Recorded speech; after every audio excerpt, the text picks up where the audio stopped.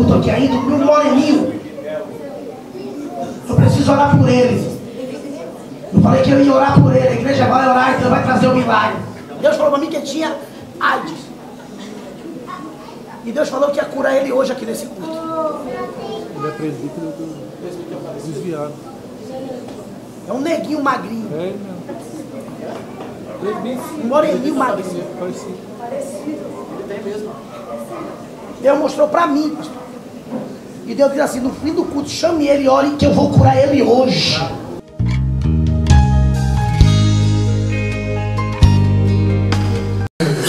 Há pouco tempo atrás, há menos de dois meses, eu me encontrava jogado aí na rua, andava, desculpa da palavra, cagado, mijado, humilhado mesmo na mão do inimigo.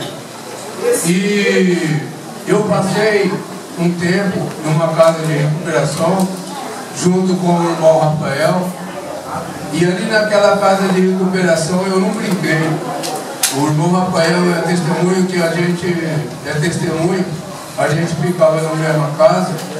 E ali eu não dormia naquela casa. O maior tempo da, meu ali era lendo a Bíblia, o irmão Rafael está aqui, à noite, orando. E de repente a gente é convidado, pastor, para participar de um almoço, foi um super almoço, né? E era um dia de visita. Como a gente não tinha visita, eu fui para o meu quarto. Quando eu fui para o meu quarto, chegando no meu quarto, fui convidado para ir lá que ia ter uma reunião. E nessa reunião, pela minha surpresa, eu estava gostando, estava amando aquele local, Deus estava trabalhando grandemente para a minha vida. A pastora falou que teria que fechar aquele local porque a casa não tinha recurso. Me entrou um desespero muito grande, porque o local que eu residia, na casa de uma outra irmã, eu não combinava com o meu sobrinho. Meu sobrinho é um viciado, né? E, e eu me abati. Eu esqueci de tudo que Deus tinha feito ali comigo. Eu me abati, logo eu voltei para a bebida, para as drogas, e ficou feio a minha situação. Ficou feia a minha situação, ao ponto de eu ser amarrado numa viatura, ir para o postinho de saúde, depois ficar uns dias internado. E um dia marcaram uma consulta para mim, e nessa consulta não era médico, era um psicólogo e assistência social. E a assistência social chegou em mim e falou assim para mim, Aparecido, você está tomando o teu coquetel certo? Eu falei, o quê? Coquetel? Eu sei, todo mundo aqui tem consciência que quem toma coquetel são pessoas que estão envolvidas. Eu falei, não, o que, é isso? Eu falei, não, eu não tenho vírus. Falou assim, não, você tem. E pegou e me mostrou a pasta para mim. Desde 95 eu estava com o vírus. Eu estava com o vírus. E eu me desesperei naquela hora. Eu não sabia o que fazer. E ali aquela assistência social me prometeu um monte de ajuda e ela está cumprindo. E a, e a psicóloga veio me aconselhando, falando para mim que hoje a AIDS é uma doença com diabético, que ela pode ter controle. Mas isso não alegrou meu coração. Eu falei, não tem outra saída. Deus mesmo esqueceu de mim. E o diabo veio e começou a me acusar e mostrar para mim todos os erros que eu, tava, que eu tinha feito, as pessoas que eu tinha complicado. Eu falei, nossa, agora chegou a hora.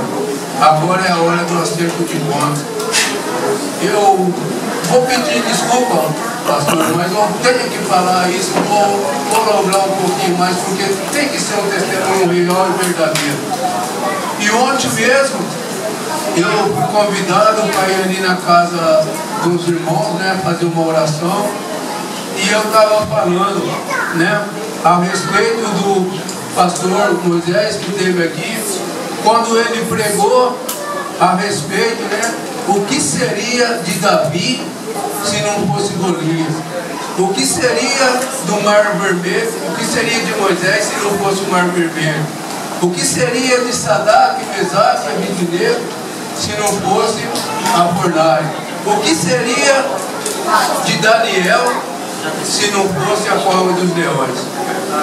Aí eu fui pôr aquilo na cabeça e eu vim aqui até aquela irmã ali de saia verde.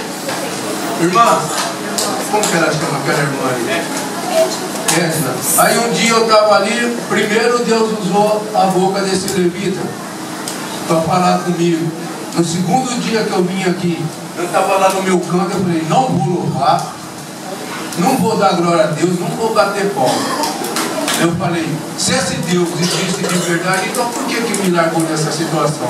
E o irmão falou assim, você só fala de Deus quando você pega o microfone? Você louva a Deus somente quando você é chamado na frente? Aí um dia também, o pastor Ricardo, a testemunha disso que eu estou falando, aí aquele irmão estava aqui falando, né? E eu peguei e entrei no banheiro. Eu sabia que era comigo que Deus estava falando. Eu entrei mesmo para esconder. Aí o pastor Ricardo falou assim para mim, ó, oh, é para você. É para você. Né? Então, irmãos, eu passei por um momento muito difícil, né? mas eu falei assim, eu não sei quem que trouxe essa palavra aqui talvez, que Deus às vezes se alegra quando diante dele parece que nós somos rebeldes. Eu achei muito estranho aquilo lá. Mas a palavra foi nesse sentido. Quando o anjo ele chegou diante de Gideão, Gideão estava lá maiando, falou, como vai, né? Como vai? Ele se revelou, ele ficou nervoso, falando, o que foi feito das grandezas do meu Deus? E eu ficava lá questionando lá dentro de casa também, falando assim, uai Deus, que adiantou eu ficar orando? Que adiantou ficar consagrando? Que adiantou eu fugir de tantas coisas para fazer a tua vontade? Agora que eu estava numa boa, que eu estava vendo que o Senhor trabalha na minha vida, o Senhor me traz para sertãozinho de novo, sou humilhado, sou jogado na rua. Né? Que adiantou tudo aquilo lá? Ah, se o Senhor existe mesmo, o Senhor vai ter que fazer alguma coisa. Porque mesmo contra a minha vontade eu vou vir na igreja. E vim. Todos os Glória a Deus, aleluia. E vim todos os cultos. Aí, vamos fazer o exame. Eu falei, vamos fazer o exame. Eu falei assim, ó, eu, pra mim eu não quero saber desse exame. E eu fui fazer o exame. O que deu no exame? Negação.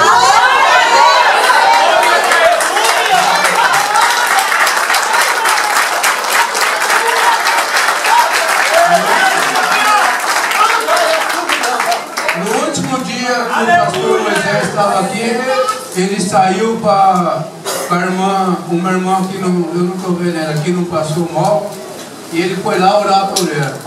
Daí ele estava lá, eu contei a minha história para ele e falou assim para mim, olha, no final eu vou orar para você. Eu estava tão invocado, falei assim, ah, se ele pode orar, se ele pode orar para ela, por que não orou para mim também?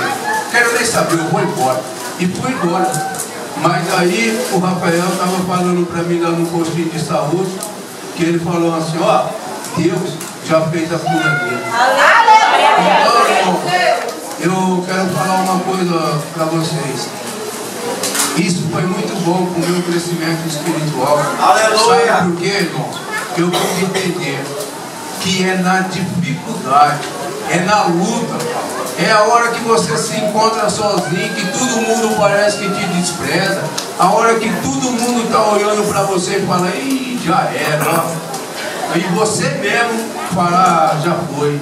Aí Deus fala, ah, agora você entendeu. Aleluia. Agora você entendeu. Agora você entendeu que sem eu, na tua vida, você não é nada. E aí você vai para a presença de Deus, que nem lá no quarto onde eu estou morando, na verdade na varanda, mas graças a Deus, ia lá, ia de madrugada, e eu, Senhor, Senhor, Senhor, Senhor, e para minha alegria, eu estou aqui testemunhando.